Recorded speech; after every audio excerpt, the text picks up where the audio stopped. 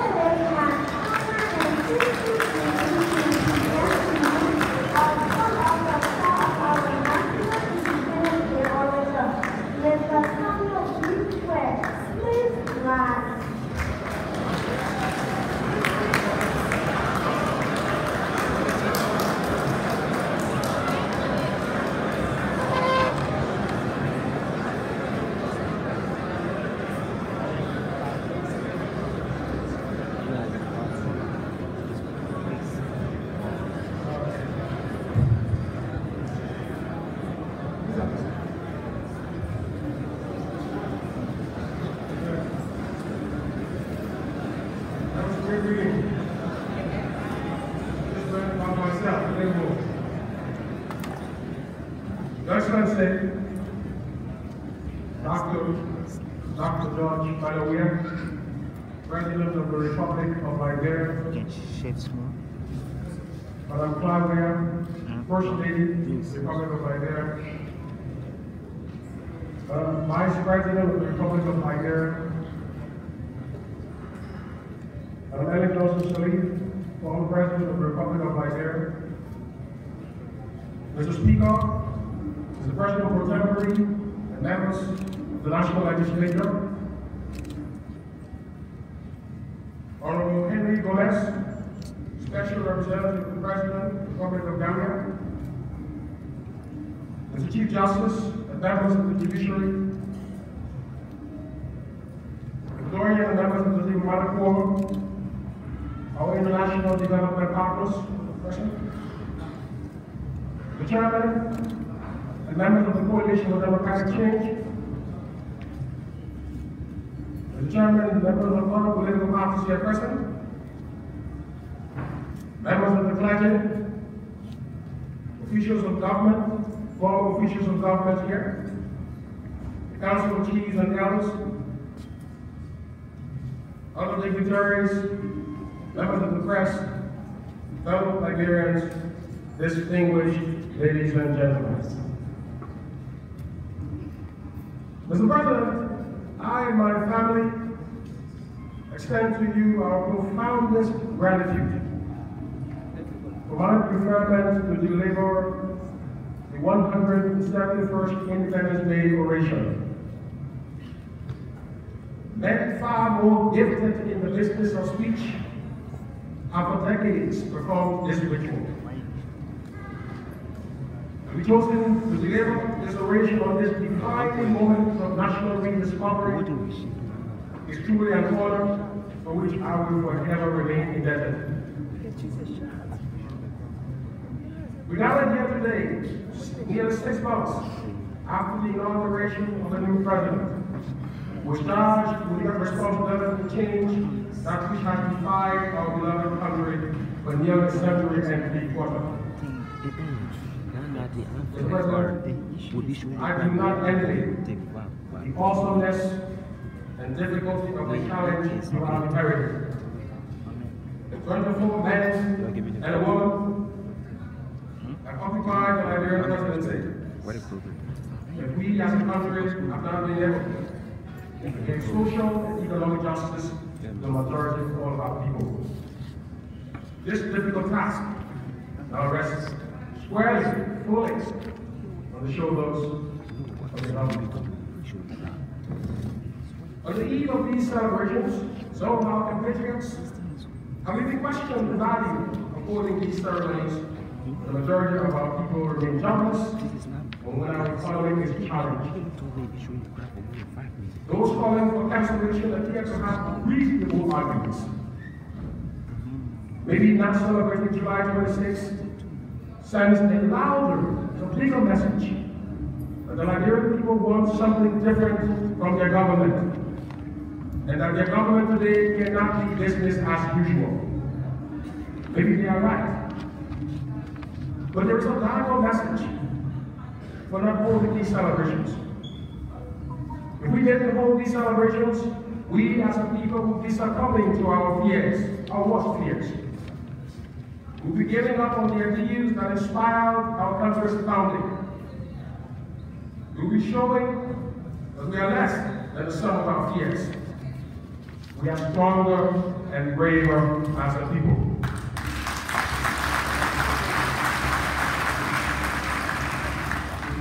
Mr. President, my fellow citizens, those who founded this country were men and women of our vision.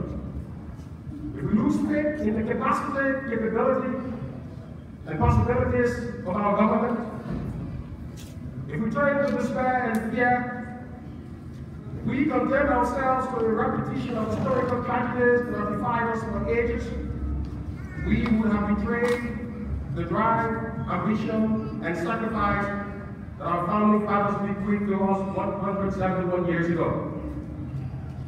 This is why, Mr. President, I to speak to my fellow compatriots on the subject, renewing that ambition that drove our nation's founding.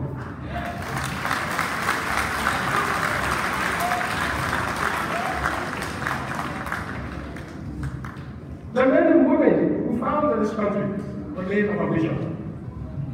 They left the scourge of slavery to establish for themselves a society in which all would be free and equal.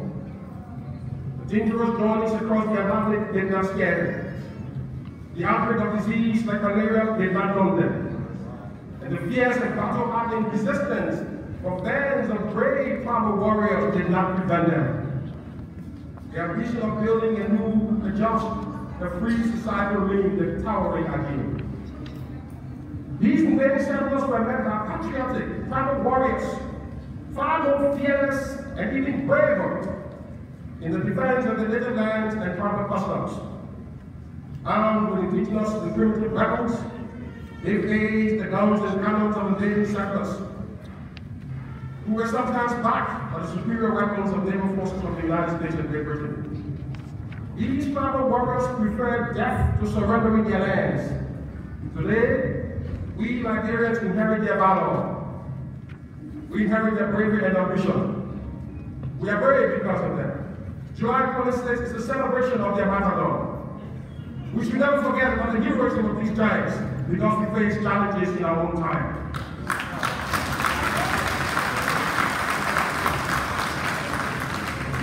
And so, my and patriots, our founding fathers, both settlers and tribal leaders, to many battles and prolonged rounds of diplomacy, inspired by men like King Saboso Kamala, and first two Liberian diplomats, our fathers were able to proclaim the world on July 26, 1847, the birth of their new republic.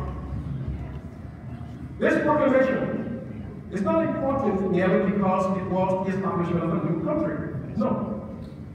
This proclamation is all the more significant because our Declaration of Independence occurred when the, when the capacity of black peoples for self-government was in doubt in Europe and America. Black people were still perceived as less than humans, enslaved to working farms and cotton fields. This is why our national anthem says, we shout the freedom of a race benighted. The Oxford Dictionary defines benighted as being in a state of contemptible intellectual or moral ignorance. At our founding, this was the perception of the black race. And it was of this precarious state of human misery our founding settlers broke out to conjoin, to conjoin forces with their native brothers and sisters to proclaim the beginnings of our beloved country. So this is our founding, for which we shall forever remain proud. We are a people in endless search of the mastery of our destiny. The goal of our history is to give justice and equality to all our people. Mortal and highly flawed men and women will mount the political stage to pursue these ideals of our founding from time to time. We should separate events of national search from the ideal itself. It is true that men and women who have historically steered our national cause have betrayed the founding ideal. And over the years, we have listed these men with criticism because of their failures. We have always looked upon our past with disdain. Some Liberians would like to erase from the memory any recollection of our tragic histories of our past and pretend that we are starting a country afresh and anew. These feelings of anger, hatred, and rejection are quite justified. The mass of our people should never have been denied education for fear that their education would pose a threat to a governing elite who are in the minority. The True Whig Project clearly had the means to build more than 3,000 kilometers of road paved roads for the duration of its stay at the helm of national leadership. The True Whig Project was certainly in the position to diversify our economy and build a thriving private sector in which Liberians would have would have been the titans of domestic production, winning us away from our dependence on the export of raw materials. So Liberians are justified in their perennial criticism and anger. The same is true for the People's Redemption Council and the National Democratic Party of Liberia followed the PRC during the 1980s. The abuse of human rights and the wanton misuse of the country's resources that characterized the 1980s were drivers of our stable company. And of course, those who came to perfect the wrongs of the 1980s committed even more heinous and unconscionable wrongs that today haunt and burden our national psyche. So we can spend countless hours and pages bemoaning the lost opportunities in our history. Such an exercise is more useful when we are able to glean from the past the valuable lessons that can enable us to avoid the historical flaws. My fellow countrymen, the failure of history is not defined by the number of tragedies that happen.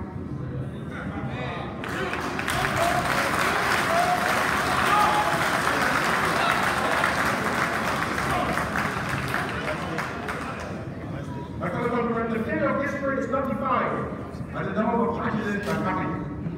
The failure of our history occurs when our past cannot inspire new energies, new ambition, new constructs and institutions that prevent the calamities of our history from reoccurring.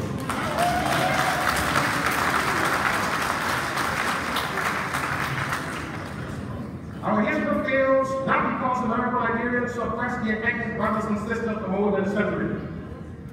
Our history fails because even decades after the fall of the True Whig Party, lives of Liberians still feel marginalized in their own country. And I felt so when two men and a woman upheld the Liberian presidency, and when different national legislatures have been dominated by ethnic Liberians.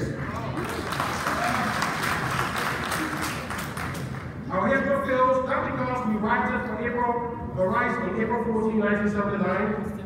Our history fails because 39 years after President William R. Ford Jr. tried to increase the price of rice to protect domestic rice production, we still are not able to feed ourselves and are totally dependent on food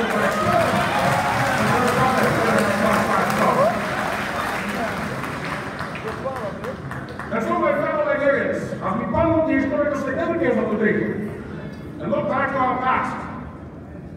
Coming out of these reflections should be a new narrative. A narrative not merely blame or of condemnation of the things that are going wrong in our country.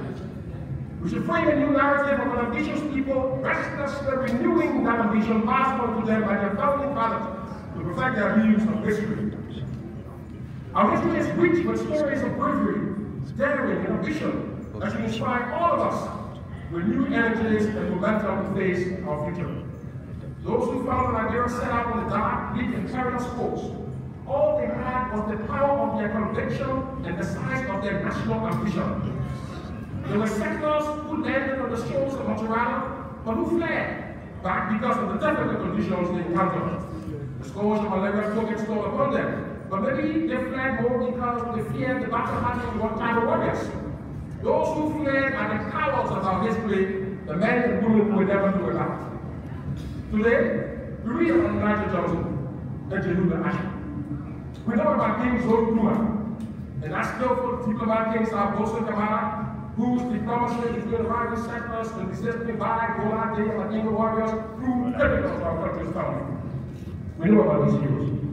We also read about Chief Swakogo, whose diplomacy, selflessness, and leadership enabled the expansion of Liberian government authority in northwest areas of Don, Lofa, and Lima. There's also Paramount Chief Noah Lemon, female Paramount Chief the Chief Chiefdom in Bong County. A lack of formal education proved no hindrance for effective political leadership. She's widely remembered for promoting women participation in decision making, built schools, clinics, and roads. So the blood of courage, selflessness, daring, and ambition runs through the veins of our national cause. We see these traits in countless ordinary citizens.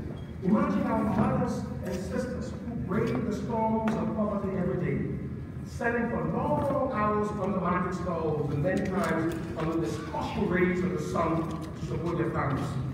Deprived of education, they work hard to farming or selling daily to give education to their children. The education and progress of men and women of our generation did not happen because of the Liberian government.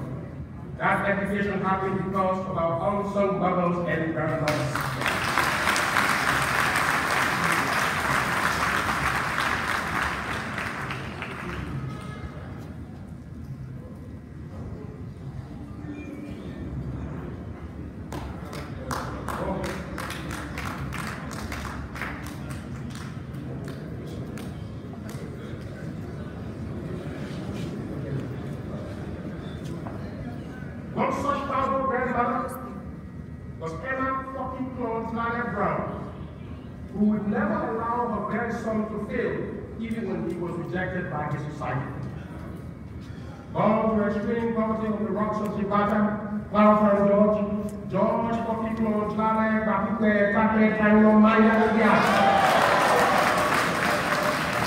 Days off the streets to make a living for himself.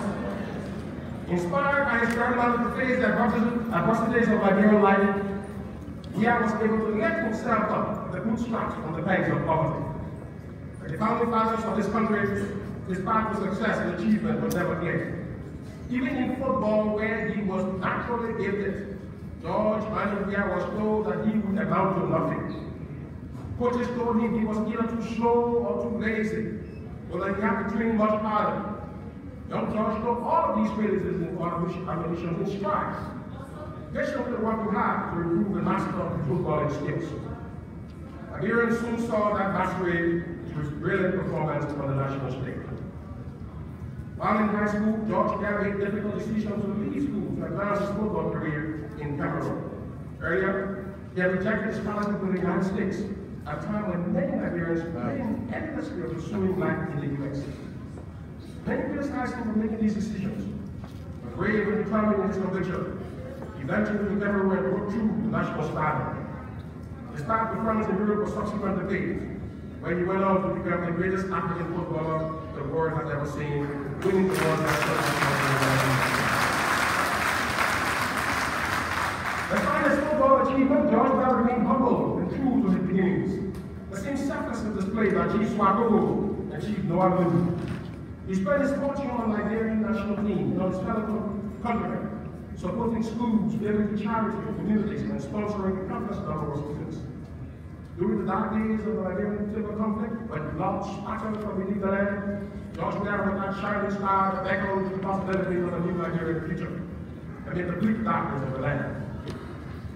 It was these attributes that endeared him the most the patriots of a new generation of political ideologues and stalwarts who organized themselves under the banner of the Congress of Democratic Change to project George Manneh Weah as that mobilizing dynamic of the society in search of national transformation. His contributions to the Liberian political landscape have been legendary. Today, he is seated in these hallowed halls as President of the Republic. I salute you, sir. Excellency, with your special defense, please permit me to join you in that inspired search for national meaning and healing. George achievements and the achievements of many other Liberians stand as a monument to the power and possibilities of Liberian dreams and ambition. The daring innovation inherent in our founding exemplify themselves in many ways in our society. We should go to these for inspiration. Today, we stand at the crossroad that defines two paths in the forward march of our history.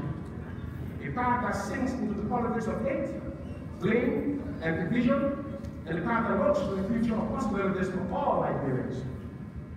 The first path, the first path is widely traveled because it is easy since it only requires the lazy art of condemnation and blaming. The second path is less traveled because it is too difficult, requiring people of ambition and national drive, determined to forge the cause of unity as we face the problems of our society. So which path should we as a people choose? Our only choice is obvious. As a result of the 2017 presidential elections, Liberians have chosen the path that is less traveled. In those elections, they have rejected the politics of fear in favor of the politics of hope. Hope that the country can renew its founding ambition overcome the big historical challenges that have confronted it for decades. It is in this spirit of unity and renewed national purpose we are able to face our worst fears and biggest problems. No problem in Liberia is bigger than, than the problem of corruption. Corruption has been the root cause of the conflicts that have run through our history. This generation of Liberians and this new government was renew its pledge to fight and end corruption.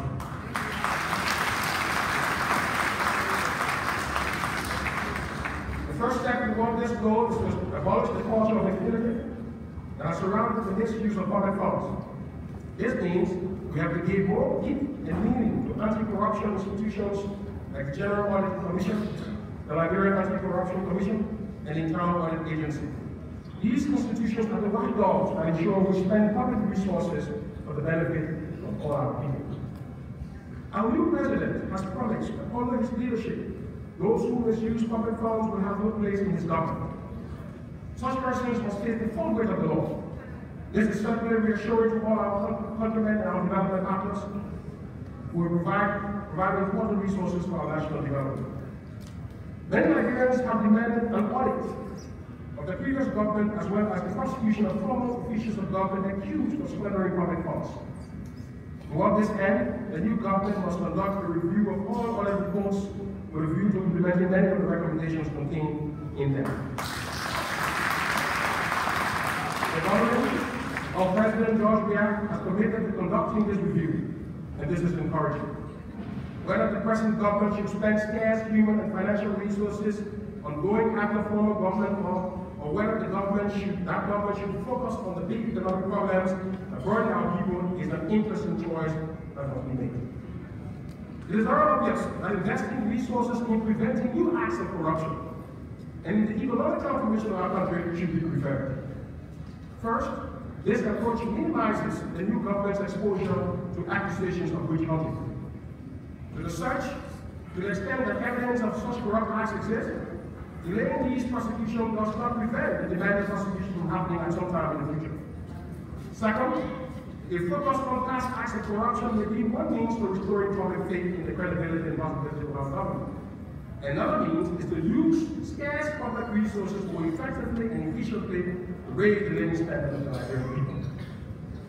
The new government has already begun to use this latter approach. The government has added more than 2,000 healthcare workers to the national payroll in the 2022 national government. This was possible because of the strong cooperation between the President and the National Legislature, led by House Speaker Bhofal Chambers and President of Contemporary Albert Chie. The collaboration that will be required to resolve even legal problems and challenges that lie ahead. The meaning of this achievement is that financial resources in question can now have been committed to providing income for 2,000 Liberian families. And these resources are no longer available to be abused misused, or wasted. The government has to make the decision because they have full fund. He has to make this decision because we have full fund, which has been supported by some of our development partners for the last several years is no longer available. The government has, has, has placed these workers on the payroll at a time when our economy and fiscal space are challenged. The best time to have done this was six years ago, when the government was in a stronger financial position. But where the, where the last government didn't achieve this, the present government has achieved it. This is an example of how we correct the past. We not only condemn that which was not achieved by past generations or past governments, we build on the gains they made and fix the problems that, we, that they were not able to fix.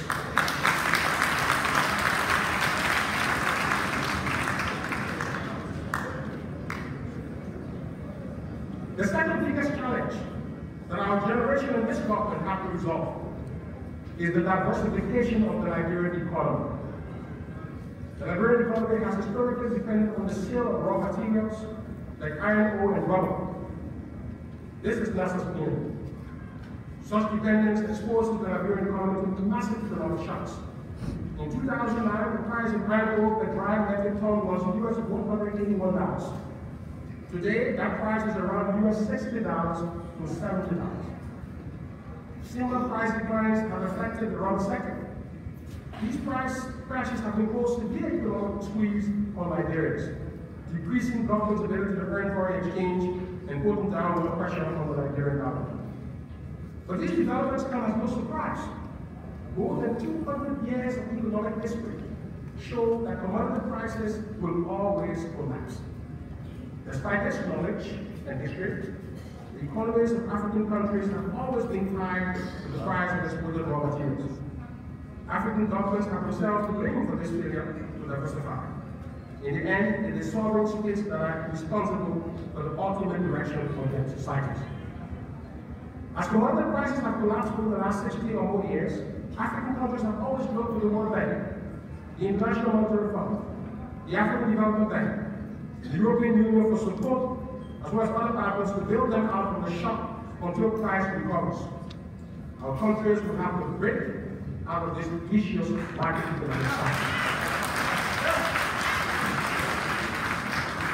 All previous governments in Liberia have failed to unlock our economy from its historic dependence on commodity prices. This generation and this government must address the problem. Today, the depreciation of the dollar is rising, and rising inflation can be traced to this failure to diversify.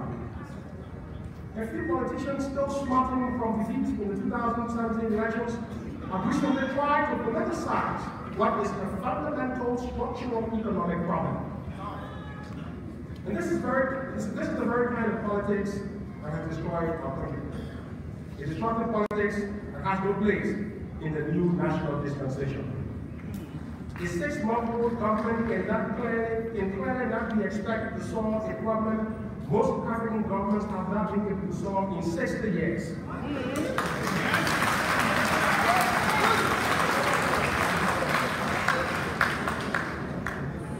And to believe that Liberians, as smart as they are, can be misled into thinking that a six-month-old government should solve a 60-year-old problem in six months is to think too low about Liberians.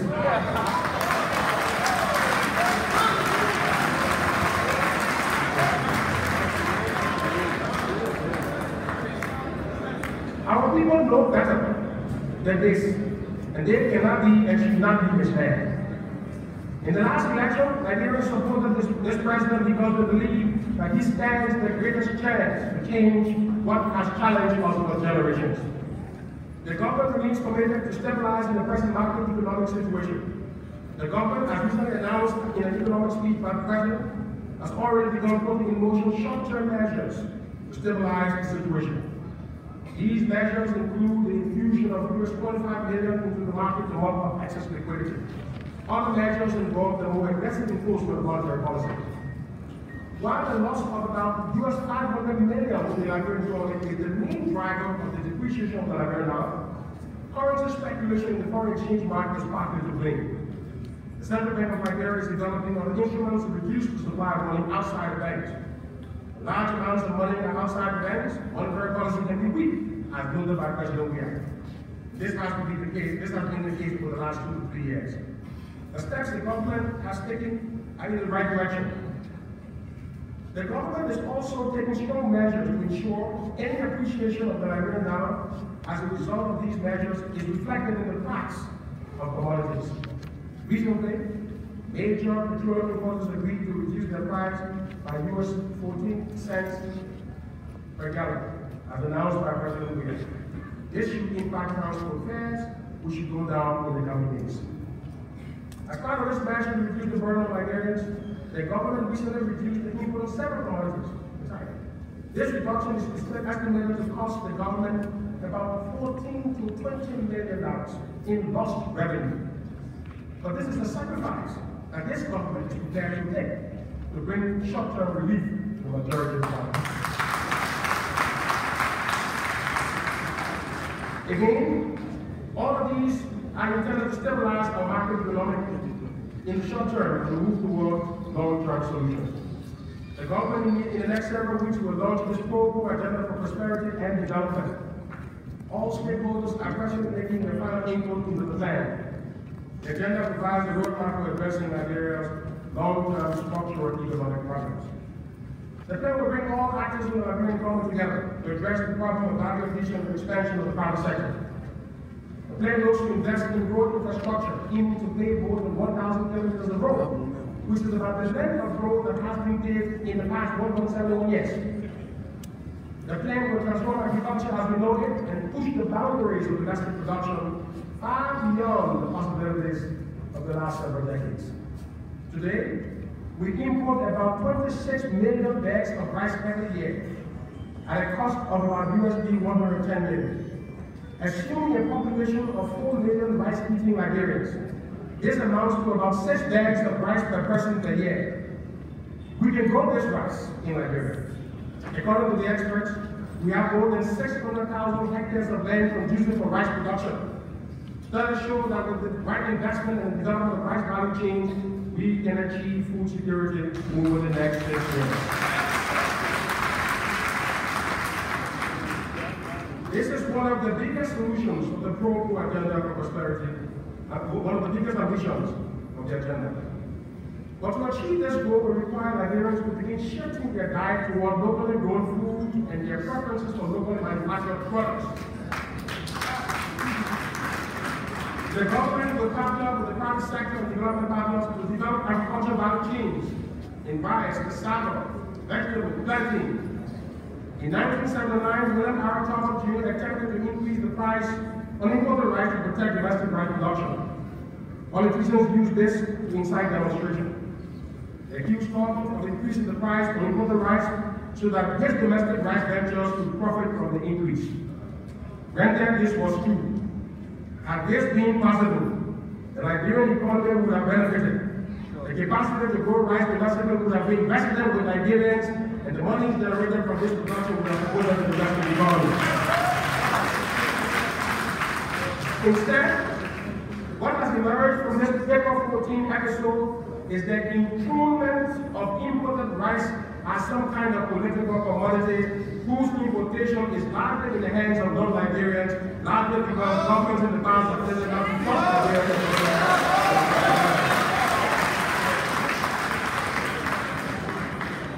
This generation and this government must aim to disestablish the myth imported rice is political commodity and move swiftly to scaling up investment in domestic rice and food production.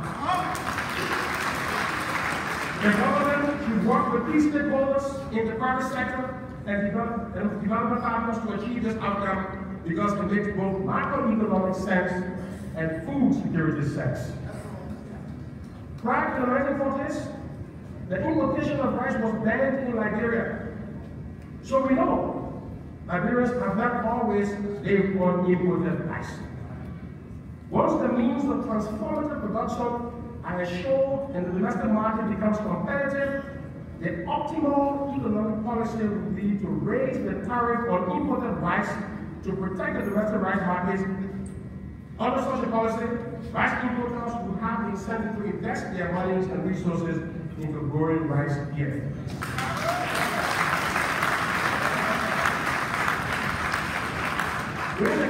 The crop agricultural space, serious investments are needed to enable growers to add value to their products. Many Liberian smallholder growers today face the acute challenge of paying their workers because of the very uncompetitive nature of the current pricing structure. These growers need to add value, but doing so requires some capital investment, which is difficult to come by. The government is committed to working on this with them. My fellow Liberians, Mr. President, this brings us to the next big challenge that we have to solve over the next six years and the decades ahead. Developing Liberian human capital. Human capital development underpins our country's transformation. The nation's only as good as the quality of its human and institutional capabilities. The quality of, this, of our teachers, doctors, and engineers will have to change radically over the next several years. The number of substandard teachers providing instruction in schools is too large but attracting high quality teachers has serious cost implications.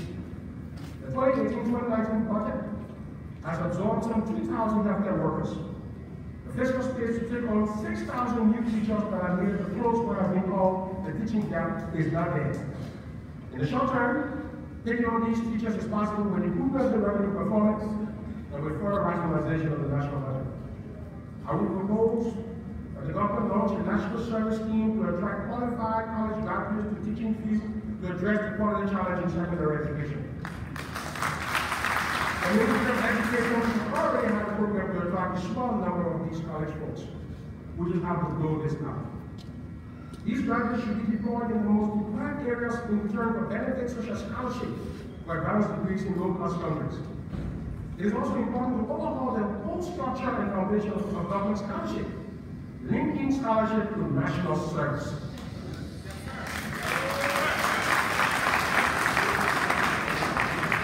As a matter of fact, students placing first at private and public high schools and at universities in this country should at least be given priority preference during their award of scholarships or of recruitment in the civil service. This approach provides some incentive for students to study harder. Scholarships should be for scholars, ready to burn the midnight oil. All push our students to work hard and strive for excellence. There's need to launch a national after-school program that can focus on a range of subjects. These programs can compete with centers of gambling and gaming that now attract our young people from productive focus on their schoolwork. The government, development partners, and non-governmental organizations should work together to develop and sustain such a program. We should work to strengthen quality college and university education. Quality challenges at higher institutions could be addressed by reintroducing the pre-war Fulbright program that existed at the University of Liberia, or some version of that program. India, for example, has competitive advantage in the supply of quality education. Indian professors could be brought aim to show up medical and pharmacy schools as well as math, engineering, technology, and economics departments at state-run and private universities. This can be done at a further cost as a package of further reforms for tertiary education. In exchange, Liberian instructors at these universities can be given scholarships to pursue advanced degrees. The government should continue to focus on the delivery of TVET. Partnership with German technical vocational institutions can improve the quality of institution at TVET, of, of instruction at TVET institutions across the country. To enable the country to provide skills and jobs for our young people. Unless Liberia is able to provide competitive skills for the majority of these young people, we face a national security risk arising from the failure to meet the employment needs of our young people. These possibilities lie in agricultural space, where the majority of young people can find gainful employment as we move the sector toward value addition.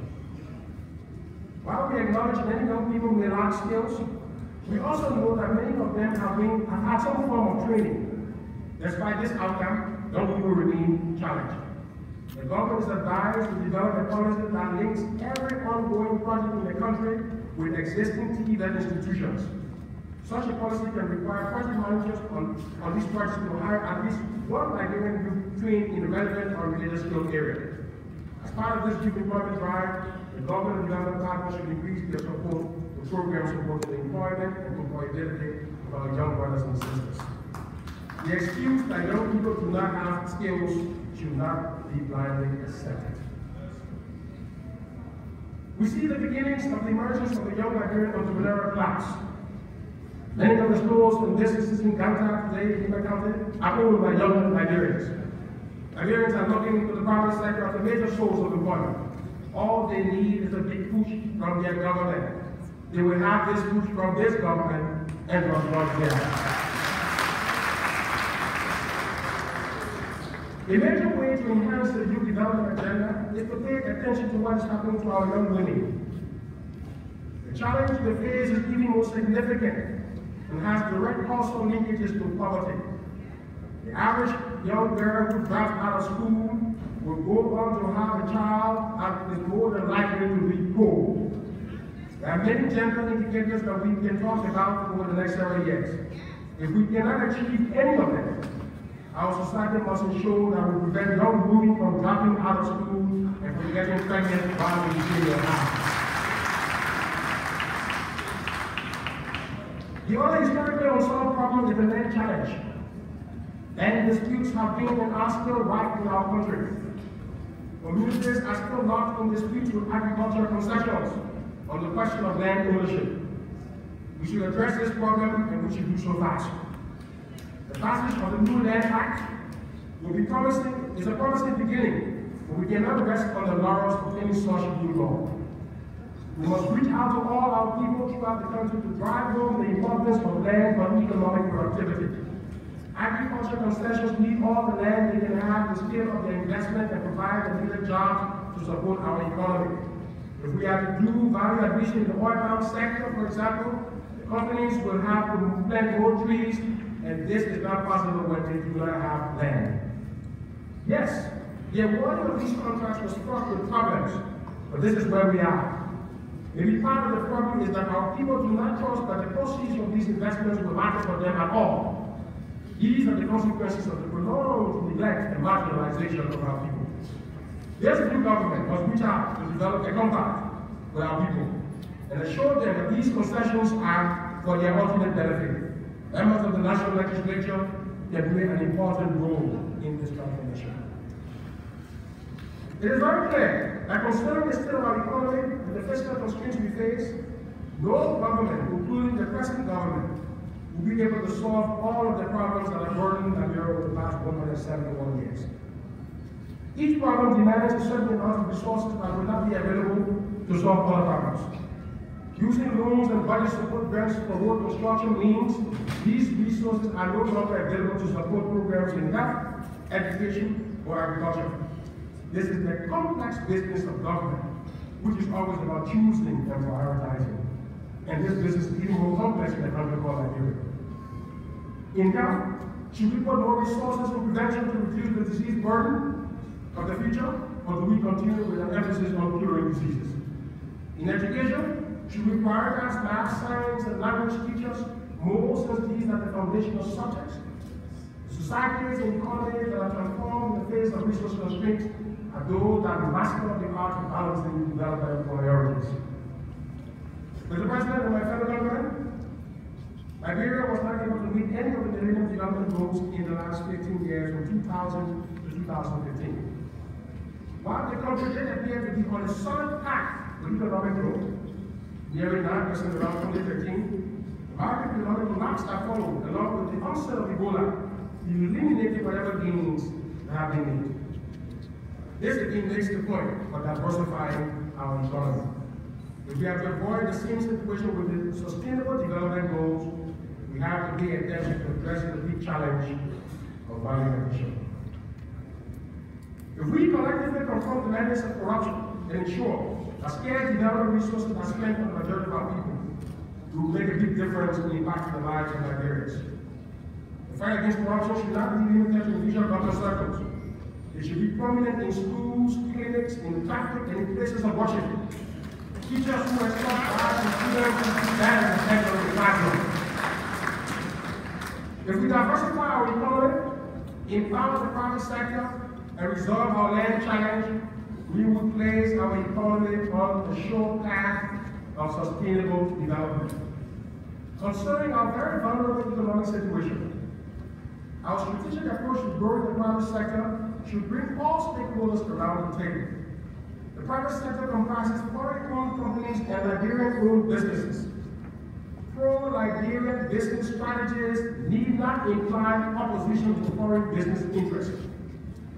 In our rush to economic to diversify our economy, we should not scare away those who have sustained the foundation of our economy even before we have the ability to manage it. Members of the executive and legislative branches of government are encouraged to find means to work with companies in Liberia as we diversify our economy. Inflammatory and violent rhetoric may threaten the short-term foundation of the Liberian economy. Pro-poor economic strategies are not anti-business strategies, and President Weah has made this point in the past. But businesses are expected to play by the rules and pay their fair share of the bargain. For example, when government reduces tariff on commodities, consumers expect to see this reflected in the price of the affected product. These outcomes should be achieved by aggressive enforcement to ensure that businesses get their fair share in profits and consumers do not receive the worst end of the bargain in the form of higher prices. The economic policies that will come out of the new development plan will aim to provide strong incentives to move the Liberian economy toward competitive domestic production. I believe many input-oriented entrepreneurs will respond to these incentives to make the necessary investments in domestic production.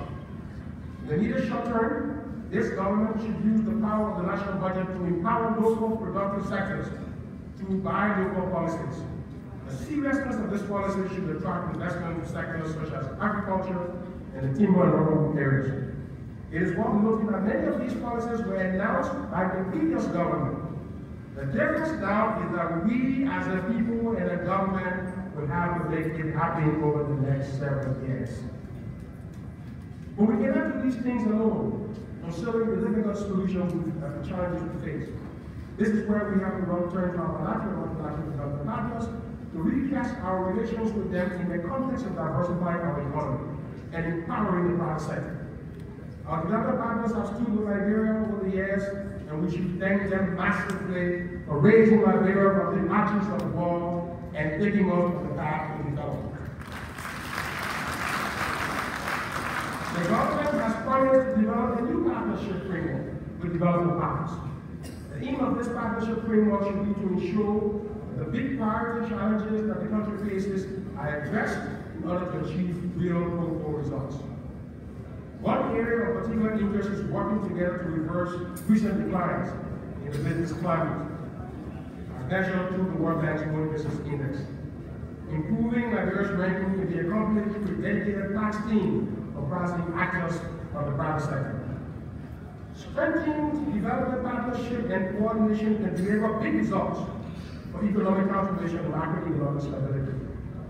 where the outcome of this cooperation were challenged in the past, the approach going forward should be to make it work now.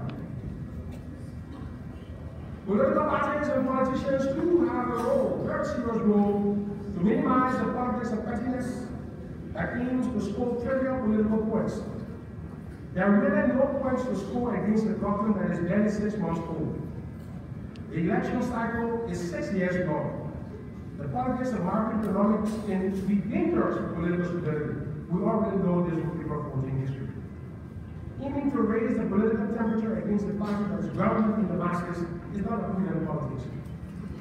The prudent course is that which was produced by Ambassador George Manneh Weah after his loss in the 2011 election. With the massive Liberian support behind him, George could have exploited his populism and popularity to undermine the Liberian state and the government of President Ellen Johnson Sirleaf. Quite on the contrary, he took the patriotic path and announced an opposition policy of constructive engagement. This was why. This was why he accepted to become the national peace ambassador, working full time to unify his country. Elements of the Congress of Democratic Change were involved in a radical ending step down campaign some years ago. It was George Weah who abandoned that campaign, arguing that elections have consequences and people elected to be given the chance to govern. Members of the opposition are advised to take similar course because in reality, the elections are long over and governance has begun. Elections are a fight for political legitimacy in matters of governance. The conferral of legitimacy after an electoral victory does not mean the loser is hopeless. No winning party has a monopoly on ideas in matters of public governance. The opposition are and should be invited to bring their perspectives for the betterment of our country. They are encouraged to bring their investment and their projects for the transformation of Liberia. In the spirit of overcoming our historic challenges and building anew, we will begin with a government opposition dialogue in the next coming days. Let us all abandon the politics of bewitching our country evil because we are not in power.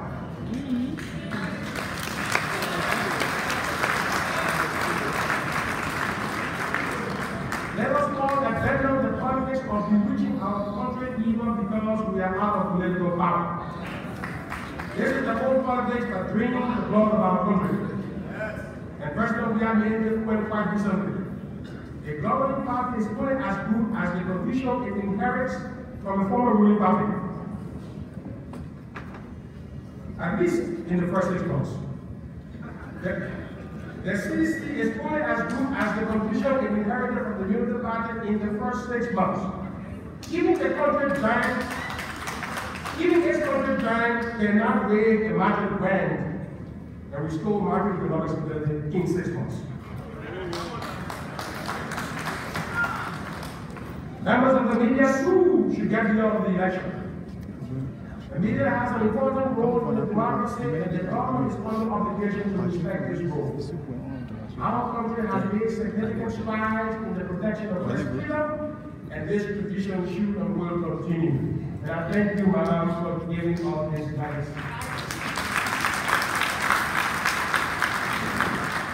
So while media institutions have fundamental responsibility to speak truth to political power, that truth must be true.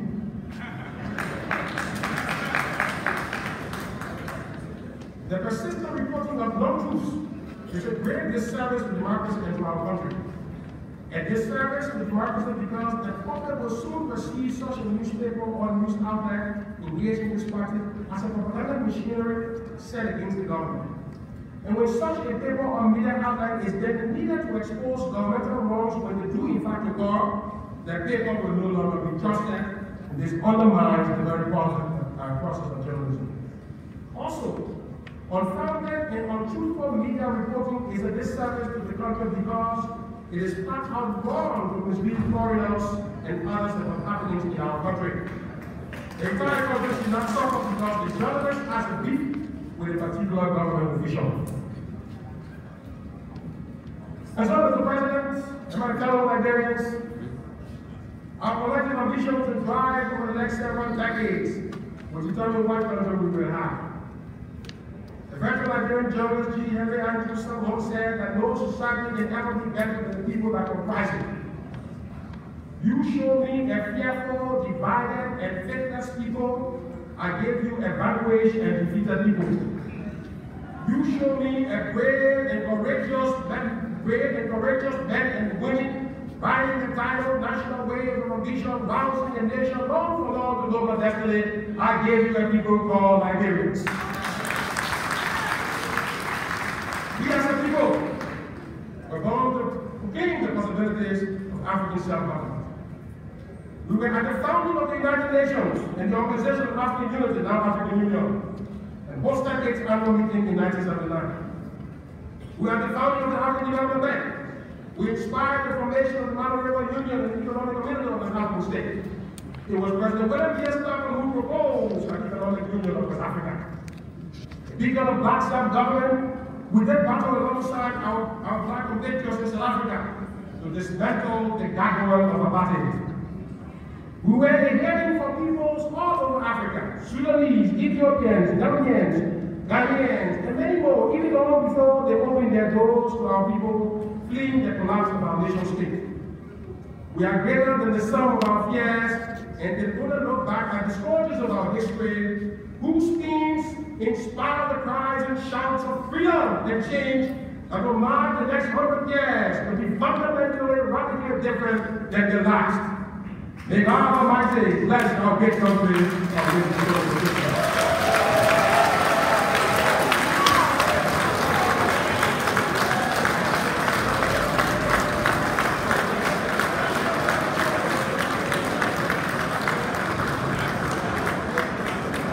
give our national anthem another hand of applause. That's it. Oration.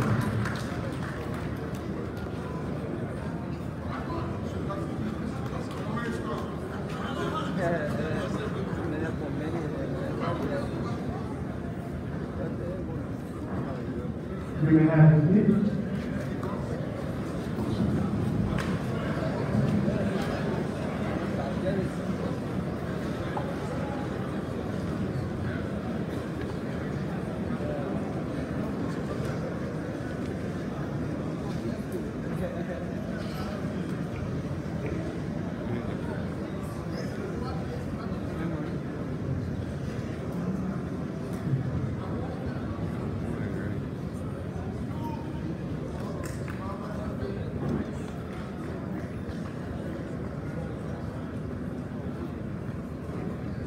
The team of protocol leaders.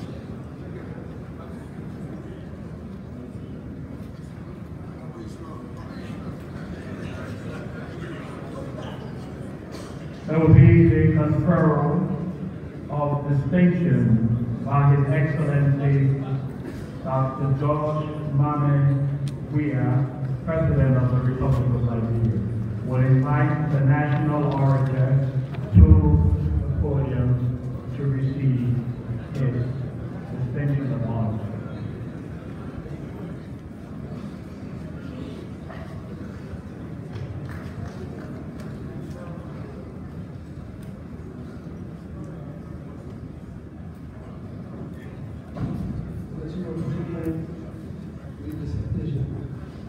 Citation by the President. Honorable Samuel D. Tweah, Jr., Minister of Finance and Development Planning, distinguished economist and dedicated public servant. July 26, 2018. You were born on May 6, 1971, onto the blessed union of Mr. Samuel D. Ford Sr. and Mary Dactyla Williams in Maryland County, Liberia. You acquired your early education at the St. Paul Episcopal Elementary School and later matriculated to the William V. S. Tubman High School in Monrovia, from where you obtained a diploma in 1993. In your quest to pursue a professional career, you gained admission at the University of Liberia and graduated with Bachelor of Arts degrees in Economics and Mathematics in 2001 magna cum laude. Later, you earned a master's degree in economics from George Washington University in Washington, D.C., United States of America. Upon your return to Liberia, you worked as the lead economic consultant at the Ministry of Planning and Economic Affairs to cast the agenda for transformation undertaken by the government of President Ellen Johnson Sirleaf in 2011. Subsequently, you were hired as the economist of the National Millennium Compact Development Project, which enabled Liberia to receive the MCC grant that financed the rehabilitation of the Mount Coffee hydroelectric dam.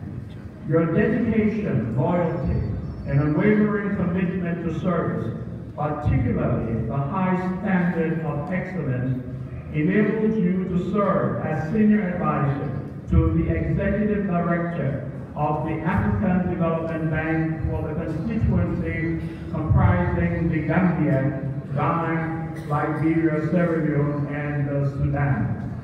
Also, you have become known and credited for your passion and advocacy for Africa's development. You will be remembered as a true nationalist who remarkably exhibited competence, intelligence, dignity, and respect at all levels of your service to the state of Liberia.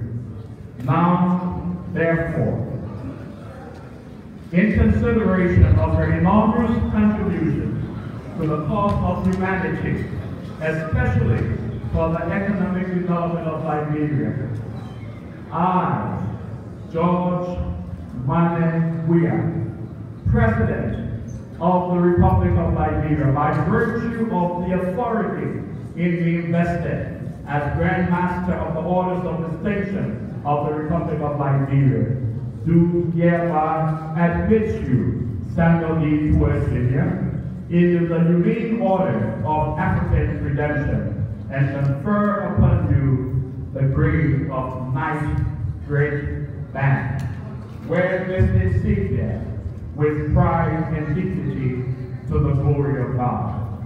Accept my congratulations.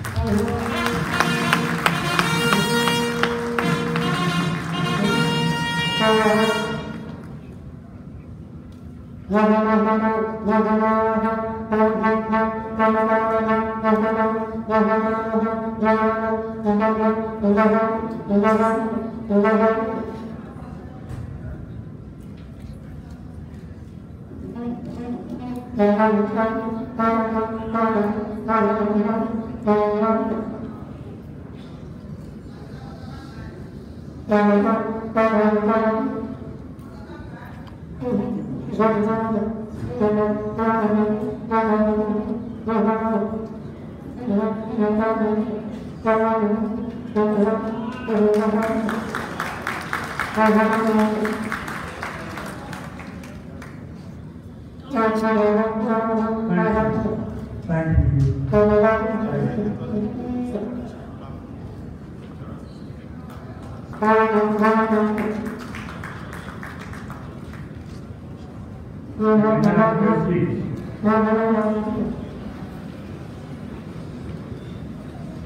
Will I invite to the front Archbishop Dr. Isaac Sam Winker, Senior.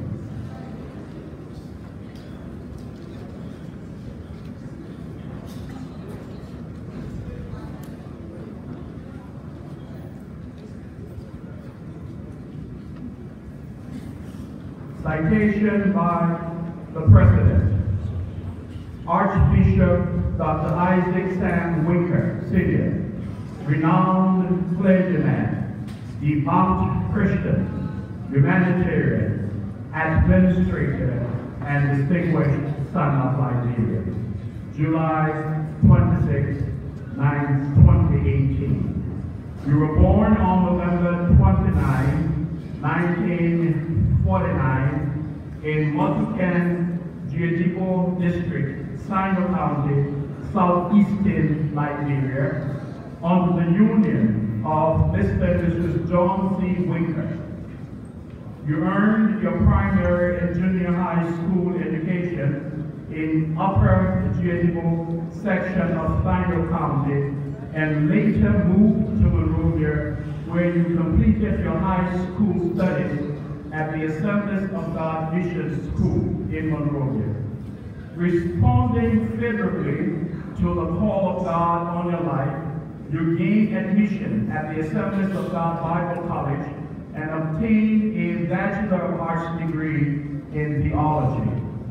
Immediately after college, you embarked upon your full-time Christian ministry, serving in several capacities to include pastor, district secretary, and treasurer of the Monrovia District Assemblies of God Mission spanning 20 years. You were very instrumental in planting the Assemblies of God Church in many areas. You were also privileged to serve as chairman of the Liberian Fellowship of Full Gospel Ministers for many years, during which time you led a Liberian delegation to the Republic of Cote d'Ivoire to mediate in the Liberian peace process. You also traveled extensively to many countries, preaching the gospel of Jesus Christ and participating in leadership seminars and conferences.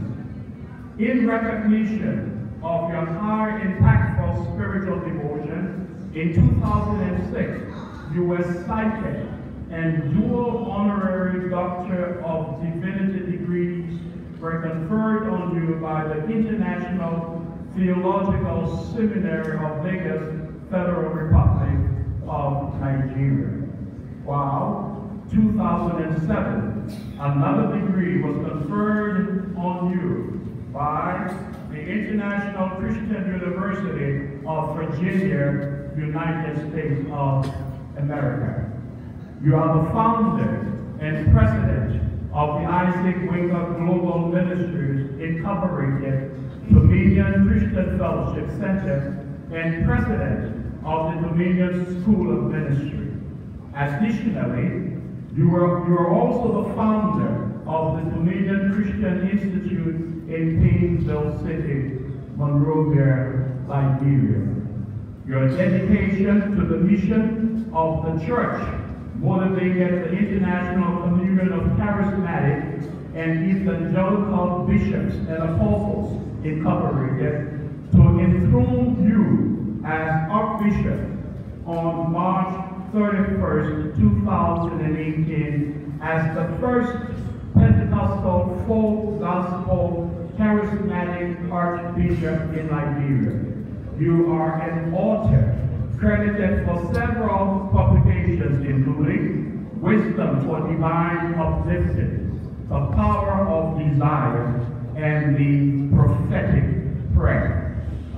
Now, therefore, in consideration of your enormous contributions to the cause of humanity, especially the people of Liberia, I, George Manneh Weah, President of the Republic of Liberia, by virtue of the authority in being vested as Grand Master of the Orders of Distinction of the Republic of Liberia, do hereby admit you Archbishop Dr. Isaac Sam Winker, Senior, into the Order of the Star of Africa, and confer upon you the grade of Grand Band. Wear this insignia with pride and dignity to the glory of God.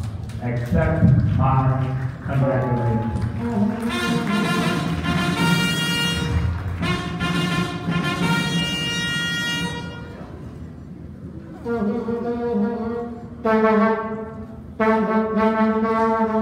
Thank you.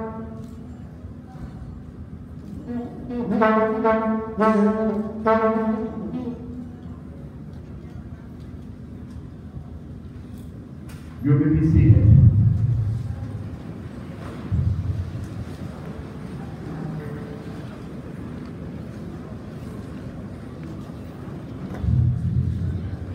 We'll now have a musical performance directed by that's the truly and by professional life here and. Please sit and enjoy the performance.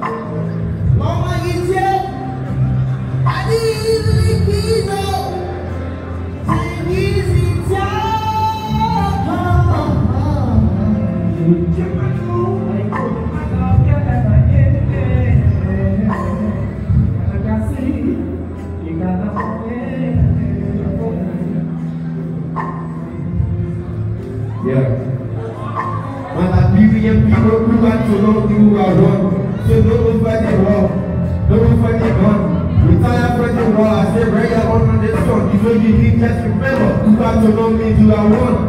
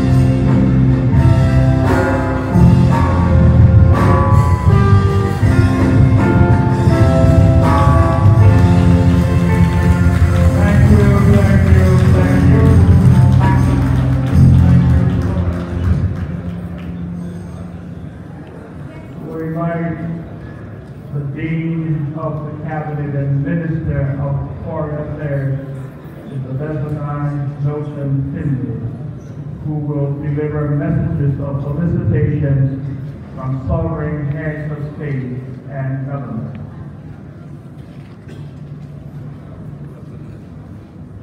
Mr. President and Madam Vice Lady, Madam um, Vice President, Mr. and members of the House of Representatives, the pro tem members of the Senate, the Chief Justice and Associate Justices, Madam former, Madam former President, Mr. Doyen and members of the Diplomatic Corps, members of the cabinet, distinguished ladies and gentlemen. It is the tradition that each year on the occasion of the commemoration of independence anniversary of our republic, the president, government, and people of Liberia receive messages of good wishes from friendly governments and institutions. On this auspicious occasion of the 171st Independence Anniversary of the Republic of Liberia, it is my pleasure to acknowledge with sincere appreciation the messages of facilitation to the President and people of the Republic of Liberia.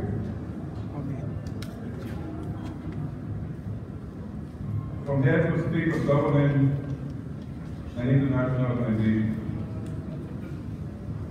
From the continent of Africa, His Excellency, President and people of the Democratic Republic of Algeria. His Excellency President and people of the Republic of Sierra Leone. His Excellency President and people of the Democratic Republic of Congo. His Excellency President and people of the Republic of South Africa.